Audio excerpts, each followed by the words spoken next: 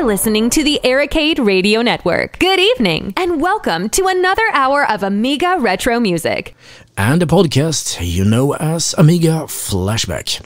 This is your DJ Daemon. Today, the subjects are errata, you know, all the little errors, plus some brand new songs.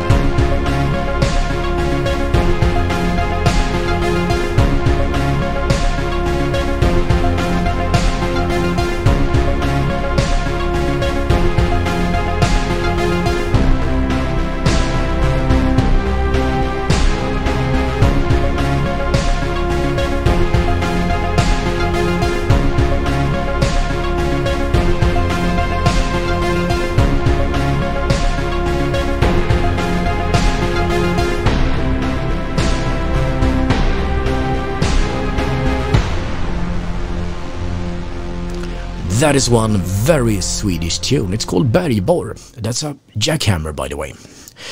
So, subject for the day. That would be nothing more, nothing less than the errors and omissions.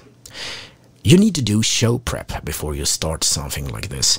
Every day I need to check out what am I gonna talk about and uh, do I have all the facts? You have to Google for it, you have to check sources, and still, sometimes when you just think about something, you say, Yeah, well, I remember this, clear as the day. But it turns out that you may have been misinformed from start, or, yeah, well, misremembered, uh, attributing uh, a song to the wrong demo or something like that.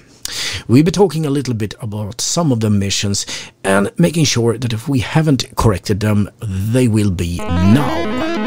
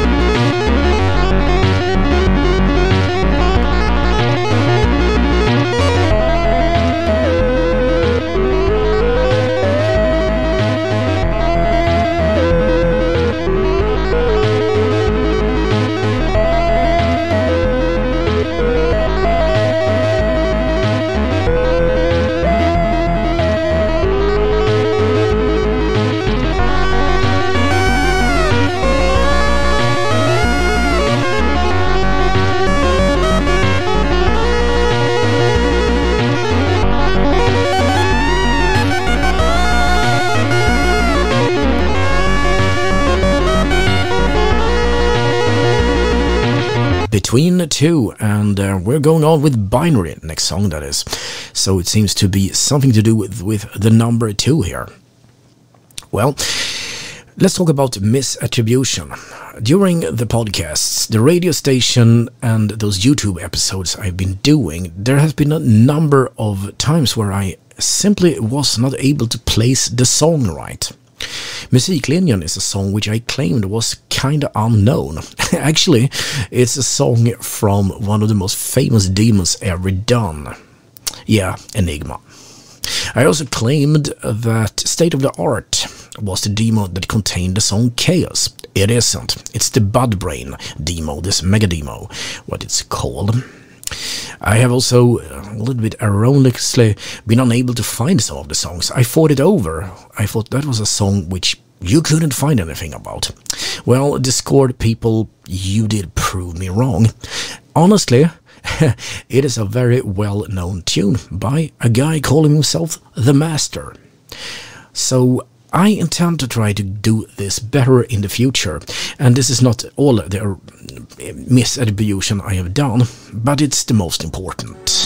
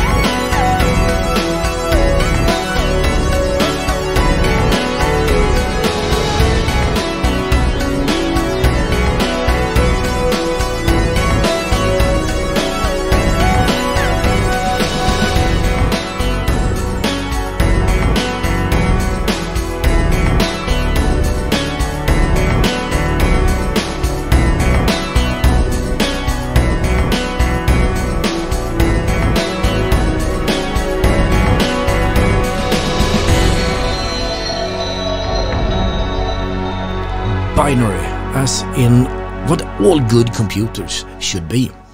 Until that is, they invent a trinary system, which reports say they are doing. Someday it will be like that, but that is way above my pay grade. So, not all omissions are some things that you should have said but didn't. Sometimes facts can be hard to find. Official sources give you some information, and at that time it's nice that somebody can tell you, yeah, well, actually, uh, and then something else. Uh, for an example, telling you me a little bit more about, for example, what uh, parties there are. When I have an official list, maybe I simply do not tell you exactly what they are and that's a cool thing because it's uh, things that, like that that makes you know a little bit better about all the Amiga uh, organizations here in Sweden. There are a number of local such things in different small cities, and um, I think they count too, if you ask me. So, yeah, I try to get better of covering them in the future.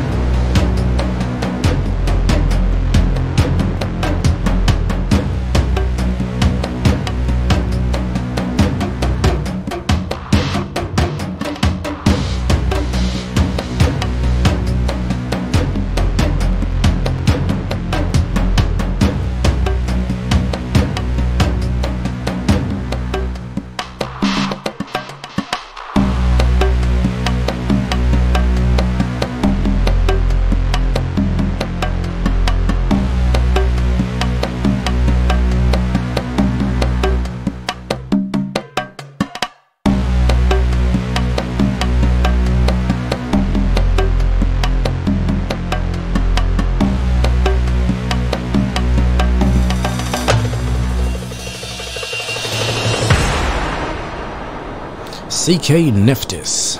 Again, one of those, uh, you know, tracks where I don't have the track notes. And that is another thing that I would say counts under errors and omissions. I am at this time hard pressed to give you the correct names of the songs. I can see them when I download them, but it's a very tough thing to copy it manually from uh, the web page where I download them and actually put them in the database. Uh, the, the file name dictates what I can see on the screen. And I intend to try to find a way around it. I think I told you about this earlier, but it is hard for me to do it programmatically as the software doesn't allow me to import the information. And it's a bit tedious to put it in manually by pasting and copying and that, uh, that that's just no fun, you know.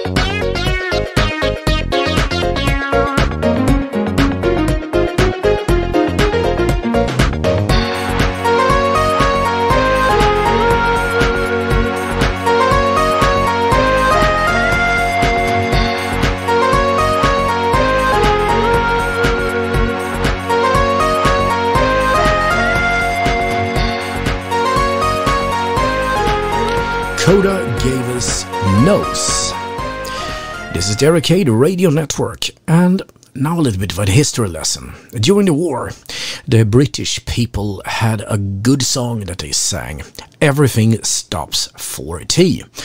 The plan was that no matter how bad stuff gets, you always had the British 4 o'clock tea. Uh, the Danish talk about kaffe og kage, which simply means coffee and a cookie, and that's the name of the next song. But here in Sweden, we have made it to an even larger tradition that we call fika. The idea is that no problem, no matter how grave or how small, has to be discussed here in Sweden over coffee and some cookies or something like this, this wienerbröd stuff we're doing. Yeah, don't ask. And uh, everything can be like uh, a meeting with no purpose, but everybody's there because it's fika. Or a meeting that is super important and everybody's there for, well, you know, fika. Welcome to Sweden.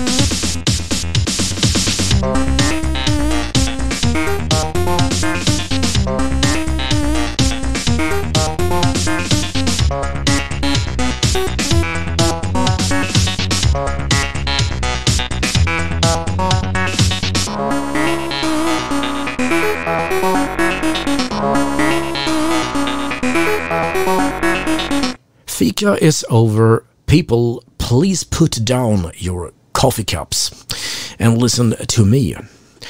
I found a really fun thing on the internet because that's what internet is for, right? Uh, yeah, it is said to be a true paper. It is a manager in a small Swedish company during the late 60s. He complains about the fika culture and says, Hey, you're not paid to drink coffee return to work immediately. And if you want to, you know, celebrate someone with a cake, that's not permitted either. Yeah, um, you can of course ask for an exception, and I might be nice enough to grant it. that's for everyone that thought it was better a long time ago.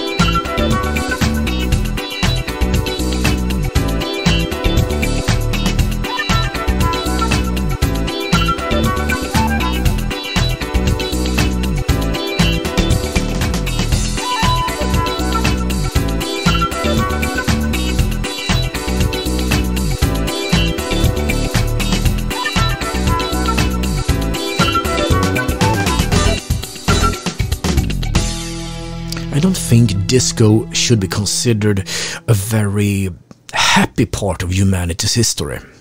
Neither was the Dark Ages and I, guess the Second World War either, but there we are. A disco Dell, part of a disco or something, I don't know. So, let's go on with some more music, and we'll be talking about some more errors.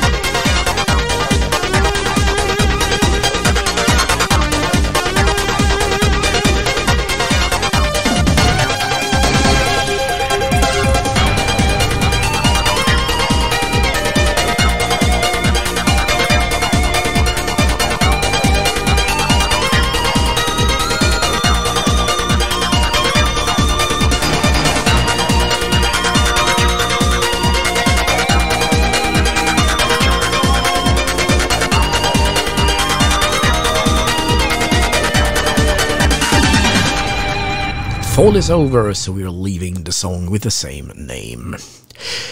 Sometimes you can be in error without actually saying anything that's wrong.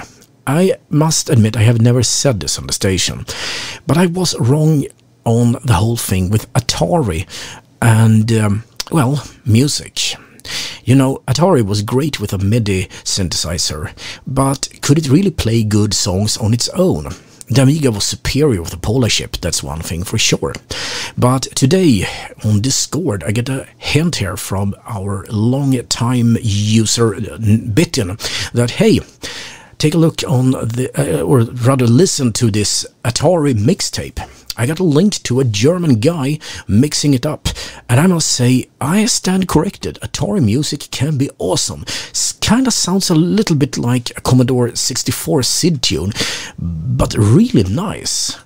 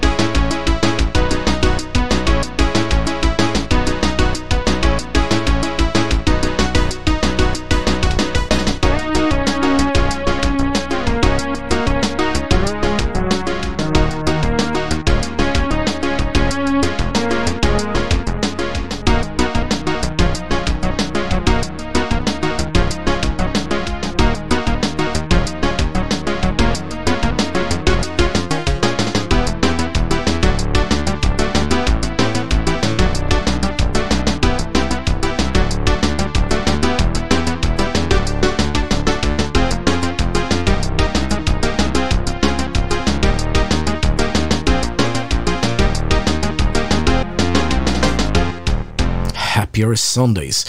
And I guess they are happier now that we know that every Sunday you will have a new, uh, well, episode of this podcast to listen to. So maybe it's Sunday as you're listening to this, and then, well, relax, kick back, and uh, drink whatever you want and eat whatever you want. Just remember, tomorrow, well, the serious life is back as we have to start working. Yeah, well, happier Sundays indeed. We're going on with Kenny Beltrey and Positrons.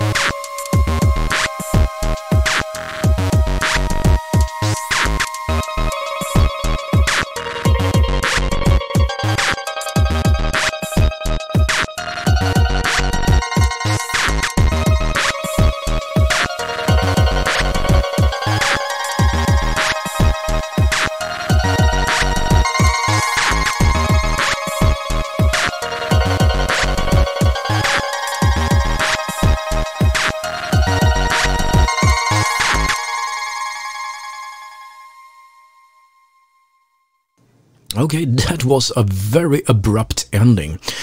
But I told you why this happened, so let's not go into that again. We're going on here with KO0X and goodbye. No, don't worry, we're not going anywhere. I would say we have somewhere around half an hour until it's time to close this shop.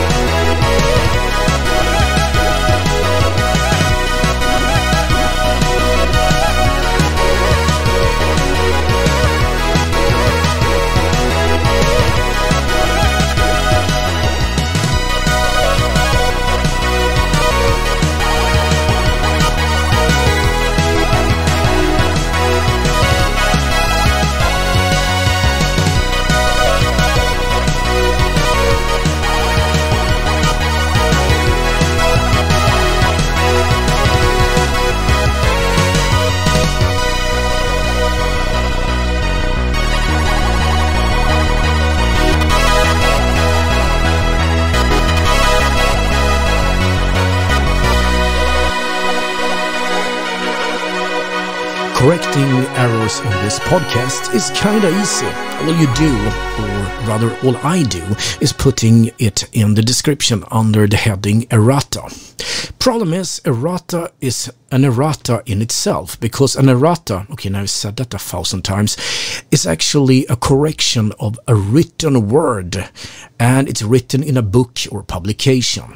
Well, this is a podcast. But if I were to correct that, it would become, well, a recursion. And we don't need that.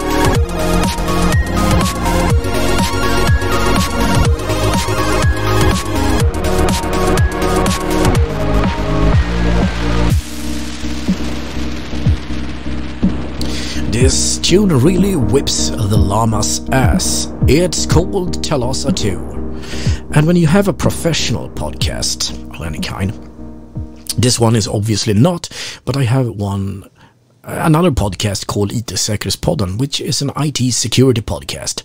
Then ac accuracy in information is so important that the whole podcast cannot be wrong very often.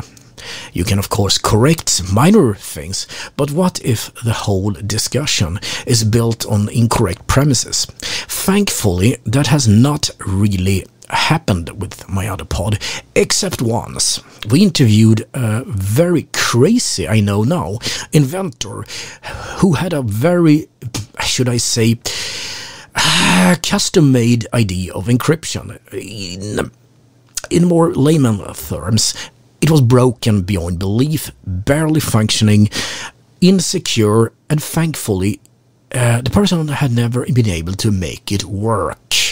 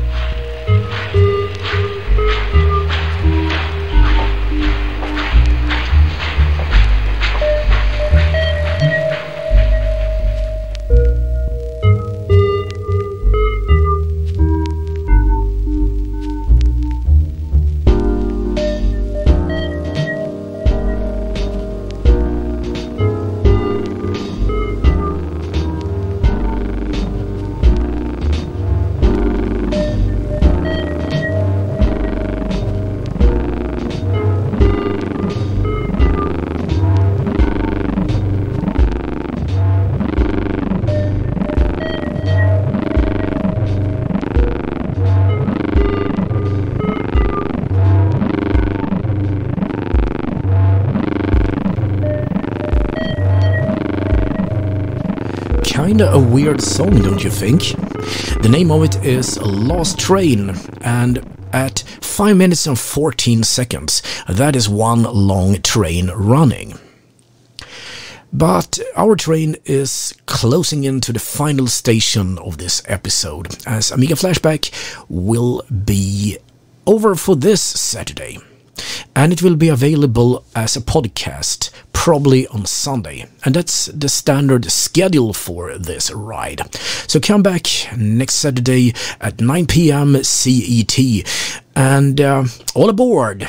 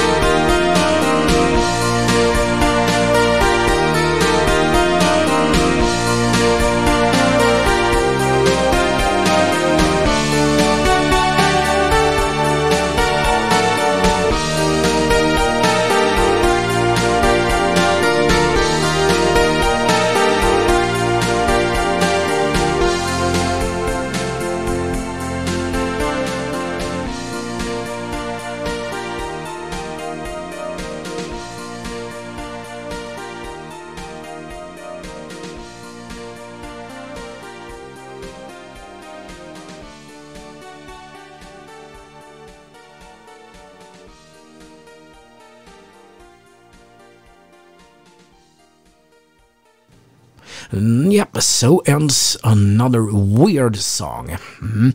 It was called Life on the Street 6. So, what's up on coming episodes of Amiga Flashback? Happy you asked, because I can tell you, we're gonna meet Techman, eh, an artist that has just released another retro tune album. We're gonna play the whole of it because, well, we're that generous. And he will be able to tell us a little bit about his work. We will also be talking in a forthcoming episode about storytelling and games, when they get it right and when they screw up, because I love that.